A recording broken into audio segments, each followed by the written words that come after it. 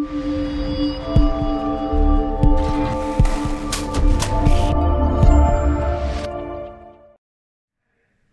with Raiders skipper Martin Aspinwall ahead of the Wigan game. Martin, this is going to bring back some good memories for you. Yeah, it is. Yeah, it's um, it's a long time since um, I played against Wigan, a good few years ago. So it's a good test, really.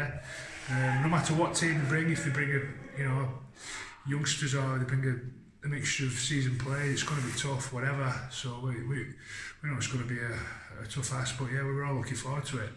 It's a fantastic game for uh, a team like Barrow to be playing Super League giants. It is, yeah. Obviously, the, the grand final winners, um, they've got a World Club Challenge coming up as well. So it's like I said, it's a massive test. It's, it's good for the town.